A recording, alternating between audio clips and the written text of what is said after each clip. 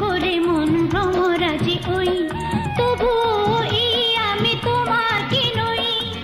মানো কি না মানো জানো কি না জানো গানে গানে কানে কানে কি যে কথা কই?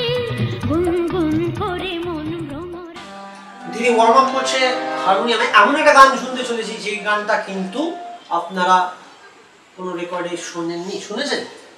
না এই গানটা অনেকেই জানে না।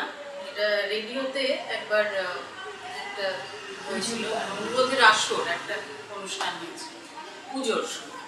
মানে পুজোর গান অনেকেই ছিলেন তার মধ্যে অনুরাধা করওয়াল উনিও ছিলেন, যশুদাস ছিলেন বাণী জয়রাম ছিলেন, হরিহরন ছিলেন অনেকেই অনেক শিল্পীরাই ছিলেন। তার মধ্যে আমি বাবার সুরে বাবার সুরে অনুরাধা করওয়াল ওনার তিনটে গান ছিল আর বাণী জয়রামের দুটো গান ছিল। তার মধ্যে একটা গান আমি একটু এক করে শোনাচ্ছি।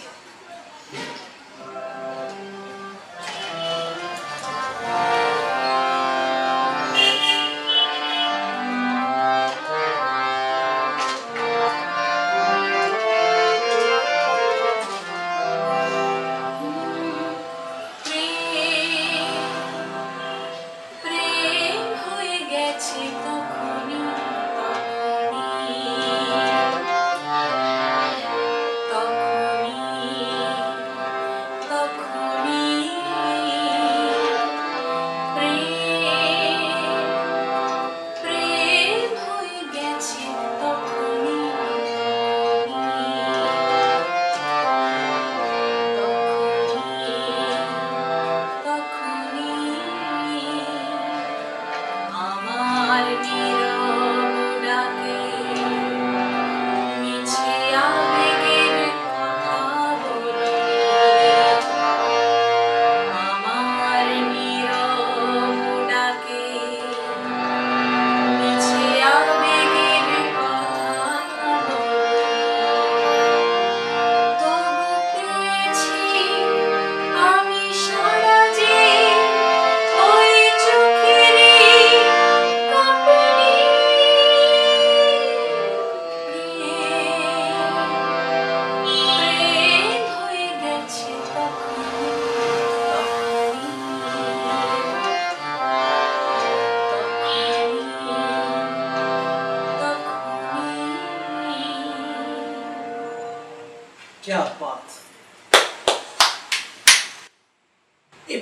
জেঠিমার কাছে যাই জেঠিমা।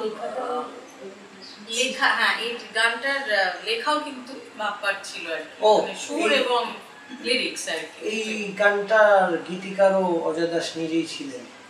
এটা একটা বড় আহ, সত্তাওনা আনফোল্ড হলো কিন্তু।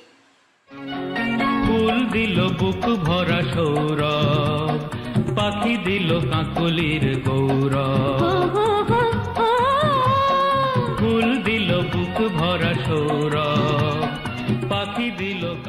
কিছু কিছু রেকর্ডিংয়ে এমন এমন কিছু ঘটনা হতো। সব অনেক মিউজিশিয়ান আমরা রয়েছি টেকনিশিয়ান স্টুডিও ইন্ডিয়ান ল্যাব বা এইচএমবিতে তো। অজয়দা হয়তো এসে বলছে এখানে মিউজিকটা অজয়দা নিজে হারমোনিয়ামটা ধরে নিজের মধ্যেই ভাব অনেক কিছু।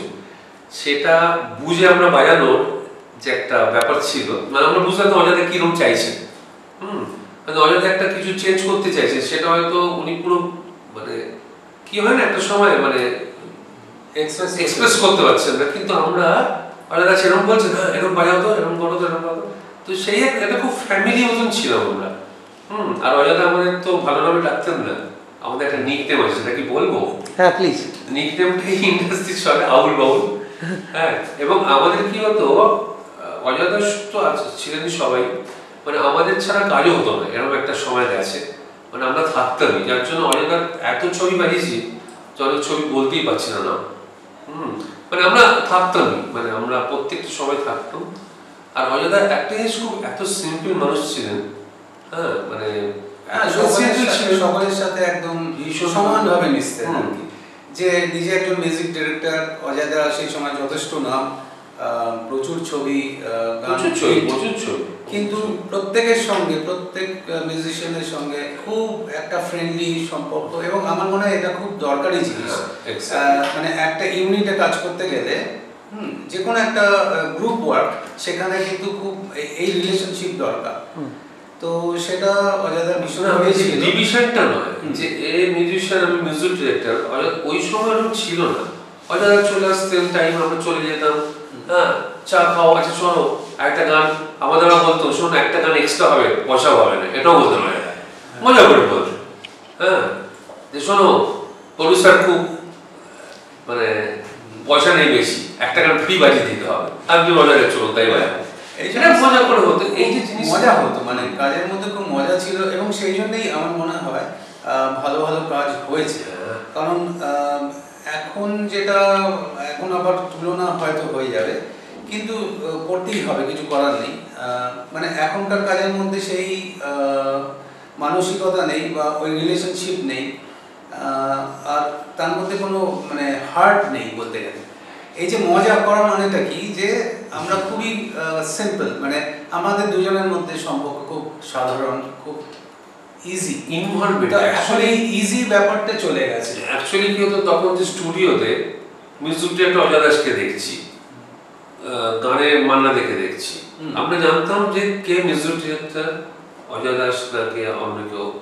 হ্যাঁ এবং অজয় দা ওখানে এসে গান মানে আমার গানটা এরকম স্কেল চেঞ্জ হচ্ছে সেই নিয়ে চ্যালেঞ্জ হচ্ছে। কারণ হ্যাঁ। স্কেল চেঞ্জ হলে কি হয়? পুরো score আমাদের, বদলাতে হ্যাঁ পুরো স্কোরটাকে বদলানো মানে সেটা একটু ইনস্ট্রুমেন্টের জন্য একটু প্রবলেম কিন্তু আমরা সেগুলো চ্যালেঞ্জ হিসেবে নিতাম। নিতাম নিতাম তো হ্যাঁ? সি স্কেলটা হয়তো সি শার্প হয়ে গেল কি বি হয়ে গেল যেমন সি শার্প স্কেলটা খুব প্রবলেম মানে ইনস্ট্রুমেন্টের জন্য, বিশেষ করে ভায়োলিন হ্যাঁ? তো বি মেজর বি স্কেলটা খুব প্রবলেম বি মেজর স্কেল তো এগুলো হতো তখন না অজয় দা তখন বলতো, কি তোমরা এই গ্রেট মিউজিশিয়ান বাজাও দেখি। এই যে এই যে জিনিসটা চ্যালেঞ্জ হতো। হয়তো উনি খুব ইয়ে করেই বলছেন, ওই যে জিনিসটা না, ওটা হ্যাঁ চলুন বাজাবো আমরা। এরকম একটা রিলেশন ছিল। মানে মিস করি আমরা।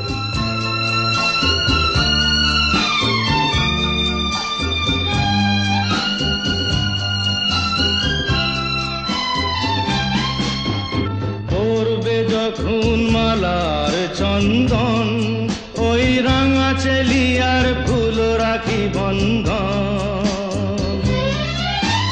মিলন রাতের প্রদীপ হয়ে আমি জ্বলবো বাসরে আজকে এমন একজন মানুষের সম্বন্ধে আমাকে বলতে বলা হচ্ছে। তিনি আমার কাছে শুধু আমার সংগীত শিক্ষকই নয়, আমার পরিবারের একজন। তিনি হলেন মহান সংগীত পরিচালক শ্রী অজয় দাস। তখন অজয়দা খুব ব্যস্ত। কখনো কখনো আমাদের ক্লাস দেখা যেত, হতো না। যে অন্য দিনে হয়তো করিয়ে দিত। কারণ রেকর্ডিং পড়ে যাচ্ছে? অজয়দা তো বম্বে চলে গেল। তো সেই সময়টা একটা দারুণ অভিজ্ঞতা। আজকের প্রতি মুহূর্তে অজয়দাকে আমরা মিস করি এবং আমার ক্লাস যতদিন কন্টিনিউ করেছি অজয়দার কাছে, সম্ভবত দু হাজার পাঁচ, ছয় সাল পর্যন্ত। তারপরেও আমার সঙ্গে অজয়দার নিয়মিত একদম ওনার বাড়িতে যোগাযোগ ছিল। একদম শেষ দিন পর্যন্ত। এবং আজকের দিনও আমি ওনার সঙ্গে, ওনাদের বাড়ির সমস্ত পরিবারের সঙ্গে আমার খুবই ভালো যোগাযোগ। এবং একটা, আমার নিজের পরিবারের মতনই ওনারা সব করি অজয়দা আমার বিয়েতে শেষ পাবলিক গ্যাদারিং ছিল ওনার। সেটা ছিল thirteenth of seventh of March two thousand thirteen আর অজয়দা চলে গেলেন এপ্রিলে, তারপরের মাসেই। যাই হোক, সেটা আজকে ভারাক্রান্ত হয়ে যাব সেই সব কথাগুলো বললে। তার থেকে বরং অজয়দার কাজ নিয়ে কথা বলাতে। আমরা এখনও মানে এমনি যখন আমরা আলোচনা করি অনেকের সঙ্গে, গানের লোকদের ক্ষেত্রে বা যারা সাধারণ আমরা শ্রোতা, তাদের ক্ষেত্রেও আমি দেখেছি, অনেকেই গানগুলো যেভাবে চেনে ওনাকে নামে হয়তো বুঝতে পারে না যে কোন ওনারই ওই গানটার সুর আর কি। যখন উনি পারে বাবা, এত গান ওনার এই এত হিট তো আমি শুনেছি একশোর ওপরে প্রায় ফিল্ম অজয়দা আমাকে বলছিলেন একদিন। উনি সুর অজয়দার যেসব ছায়াছবিতে সুর করেছিল, সেই ছবিগুলোর একটু নামগুলো জেনে রাখলে ভালো লাগবে আমাদের সবার। যেমন উনি ফার্স্ট ফিল্ম করেছিলেন দীনেশ দে প্রোডাকশনস ছিল নাইনটিন সিক্সটি নাইনে পান্না হেজুনি এই ছবিটা সব গানই প্রায় ভীষণভাবে জনপ্রিয়। ভীষণ ভালো ভালো গান হয়েছিল। যেমন শ্রী রাধা কাঁদে কে জানে কবে আবার দেখব পৃথিবীটাকে এই ফুল এই আলো আর হাসিটিকে। তারপরে আজিয়ে আসরে আমার পৃথিবী আমায় দাও গো বলে। পিন্টু ভট্টাচার্যের সঙ্গে শ্যামমিত্র একটা ডুয়েট ছিল। খুব সুন্দর একটা গান সহসা এলো বরসা বৈশাখে। এ, খুব সুন্দর সুন্দর গান এই পান্নারি চুনিতে। এবং এই ছবি আর অজয় তাকে পেছনে ফিরে তাকাতে সময় দেয়নি। একের পর এক একের পর এক কাজ করে গেছে। তারপরে নাইনটিন সেভেন্টি ওয়ানে সোনা বৌদি রিলিজ হলো। তারপরে সেভেন্টি টুতে অর্চনা, বহুরূপী নয়া মিছিল অচেনা অতিথি, তারপরে সাধু যুধিষ্ঠিরের কর্চা, এরকম একে একে, নয়ন চার মূর্তি মান অভিমান, তারপরে সিংহদুয়ার, টুসি, সুনয়নী, খুব ভালো ভালো গান ছিল সুনয়নীতে। সিংহদুয়ারে খুব ভালো ভালো গান। বাতাসি, বিচার বলে একটা ফিল্ম হয়েছিল নাইনটিন এইট্টিতে রাজা সাহেব উত্তমবাবুর ছবি ছিল। রাজনন্দিনী ন্যায়, অন্যায়, প্রতিশোধ, এটা উত্তমবাবুর ছবি।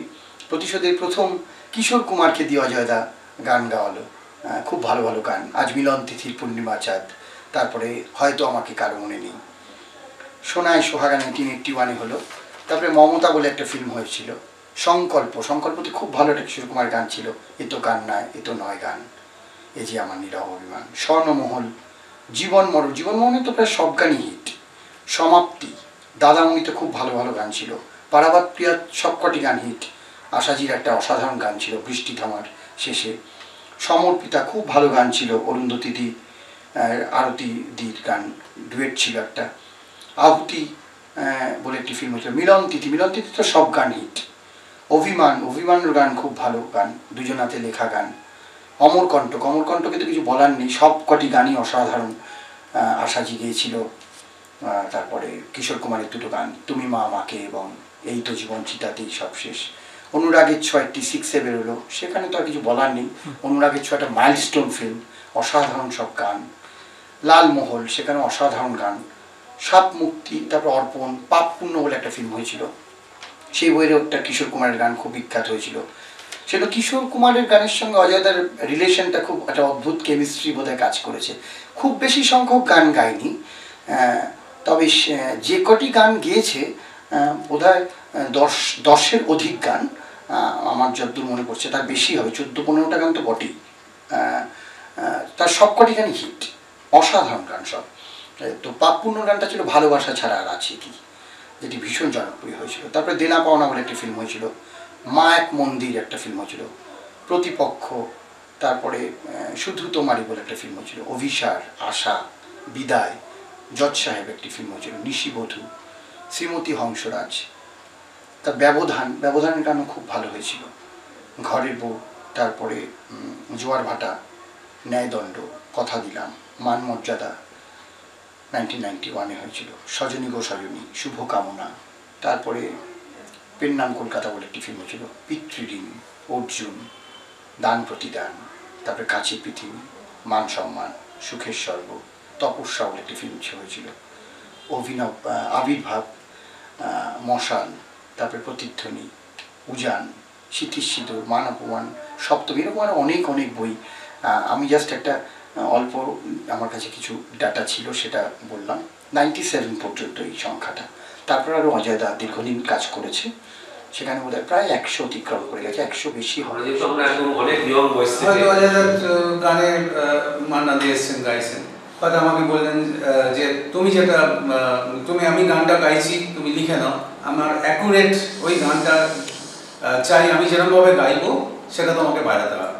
তো এই সমস্ত খুব ফেস করেছি আমরা, এবং সেগুলো আমাদের জন্য অনেক উপকারে দিয়েছে। এই কারণে যে এত ডিটেলিং হ্যাঁ এত চ্যালেঞ্জ এইটা না থাকলে বোধ মানে কি বলব, একটা ভালো মিউজিশিয়ান হওয়া খুব মুশকিল হয়। তো সেগুলো আমরা অনেক ফেস করেছি এবং আমরা এগুলো চ্যালেঞ্জ হিসেবে নিতাম। হ্যাঁ যে উনি যেটা গাইবেন আমি সেটাই বাজাবো। হ্যাঁ এই যে স্কেল চেঞ্জের ব্যাপারটা আমরা বললাম। তো এগুলো আমরা ফেস করেছি আমাদের জন্য খুব উপকারী মানে উপকারে দিয়েছে সেটা। আরেকটা জিনিস কি? তখনকার দিনে এই অজয় দাসের মিউজিশিয়ানরা কি আমরা একটা পয়সা পেতাম কিন্তু কাজটা অন্যরা দেখতেন না কিন্তু। কাজটাই কিন্তু তখন মেন ছিল। হ্যাঁ ইনভলভমেন্ট এনভায়রনমেন্টটা আমি গানটা আমার গান হিট হবে লতা মঙ্গেশকর গাইবে কি কিশোর কুমার গাইবে। হ্যাঁ আমি কাজটাই মেন করি। তখন হয়তো প্রডিউসারকে খুব চাপও দিতে দিতেন না যে আমাকে এই টাকা দিতে হবে। তখন অজয়দা ফুললি এস্টাবলিশ অজয়দাকে সবাই চেনে। অজয়দার প্রচুর গানের সুর হিট হুম আমি ছোটবেলা থেকে শুনছি আমরা খুব ভাগ্যবান যে অজাদার অনেক ছবিতে আমরা কাজ করেছি। আরও প্রচুর মিউজিক ডিরেক্টরের ছবিতে কাজ করেছি আমরা। আম, তো আমাদের এটা খুব স্মরণীয় সমস্ত আর খুব ভালো লাগছে অজয়দাকে নিয়ে এটা করছ। এত অদ্ভুত উনি। কর্ড প্রোগ্রেশনে গান হয়েছে। আহ, উনি হয়তো সেটা কর্ড প্রোগ্রেশন ভেবে করেনি কিন্তু আমরা যখন সেটা কর্ডসের নোটেশন বা পেপার ওয়ার্ক করি তখন এমন এমন পর্দা উনি লাগিয়েছেন উনি খুব অ্যাক্সিডেন্টাল প্রয়োগ করতেন হঠাৎ করে একটা অ্যাক্সিডেন্টাল নোট সেই অ্যাক্সিডেন্টাল নোটটা কখনোই গানটাকে ডিস্টার্ব তো করছেই না, বরং বলব ওই নোটটার জন্য গানটা একটা আলাদা ফ্লেভার এসে যাচ্ছে। যার জন্য সেই গানটা একদম অন্য একটা স্তরে চলে যাচ্ছে এবং ওটা একটা লেসেন হয়ে যাচ্ছে গানটা। যেমন আরতি দিদির একটা গান ছিল আরতি মুখোপাধ্যায় আমাদের প্রখ্যাত সংগীত শিল্পী দিদির একটা গান ছিল মান মান অভিমান বলে ফিল্মটার নাম সেভেন্টি এইটে ছিল, আমার ময়ূর পঙ্খী তুমি ওর যে অন্তরাতে লাইনটা একটা ক্রস লাইন ছিল সেটা একটা অদ্ভুত নোট এমনভাবে অজয়দা লাগিয়েছেন সেটাই একটা দারুণ গানটার একটা ফ্লেভার পাল্টে দিয়েছে আমি একটা কম্পিটিশন তৈরি করছিলাম কিছু, বেশ কিছু বছর আগে। একটা তৈরি হচ্ছিল মানে অনেকের সুরে গান, আমারই গান, সেটা অনেকে তৈরি করবে। সবই প্রবাদ প্রতিম মানুষ, তার মধ্যে অনেকে, অনেক আর্টিস্ট আছেন তার মধ্যে অজয়দার কথাও ভেবেছি। আমি অজয়দাকে বলেছি যে, আপনার গানের ব্যাপারটা আপনি আমাকে বলবেন, আমার কিছু বলবেন। তো গান শুনেছে, কে, কী করছেন তো আমি অনেকের গানই করেছেন যেহেতু সবারটা শুনেছেন। শুনব যে তুমি এই দুটো গান রাখবে, হঠাৎ করে। হ্যাঁ কোন দুটো গান? মনে হয় এই দুটো গান। তখন অজয়দার কিন্তু একটু শারীরিকভাবে অসুস্থ, কিছু কিছু ডিসলিঙ্কড হয়ে যাচ্ছে, কিছু কিছু কথা কখনো কখনো ভুলে যাচ্ছে। কিন্তু তার মধ্যেও উনি গানটা এতটাই ভালোবাসতেন হয়তো, বা ওটা এমনভাবে এমন একটা জায়গাতে রয়েছে, উনি ওই জায়গাটা ওনার শারীরিক প্রতিবন্ধকতাও হয়তো কাজ করতে পারেনি। উনি কিন্তু ঠিক একদম এক্স্যাক্ট কমার্শিয়াল অ্যাপ্রোচ নিয়েই বলেছে, তোমার ওই অ্যাপ্লিকেশন সিডিতে এই গানটাই দরকার। এটা কিন্তু মানে আমাদের কাছে জাস্ট অজয়দার বাড়ির লোকরাও আমি নিজেও, আমরা নিজেই অবাক হয়ে গেছিলাম যে কীভাবে ওরকম একটা শারীরিক পরিস্থিতিতে ওই কথাটা তার মাথা দিয়ে বেরোলো। কারণ সে নিজেই তখন ভুলে যেত অনেক কথা, গানের কথা, কিছু কিছু জিনিস। তখন একটু বেশ অসুস্থ অজয়দা। তো তার মধ্যে আমাকে বলল যে তুমি এই গানটা রাখো এটা একটু রিদিমিক তো আর আরেকটা গান একটু অতটা রিদিমিক করব না ওটা একটু অন্যরকম করব। তুমি এই দুটো গান দুরকম ডাইমেনশন কখনো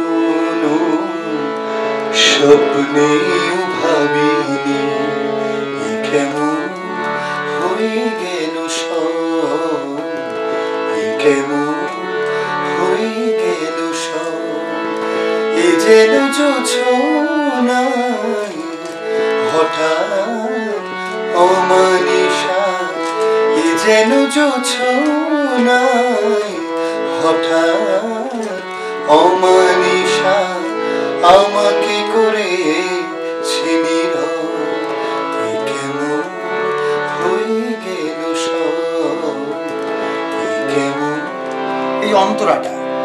স্থায়ীটা আমরা একরকমভাবে শুনলাম। যে শুদ্ধ পর্দার প্রয়োগ অন্তরায় উনি কি করলেন? এই যে পরিমধ্যম এবং করোনা থাকে যে নিয়ে আসলেন। এই জীবনের পাতায় আমি খুঁজেছি তোমার তোমার সুধা, নীরব ছায়া, স্বপ্নে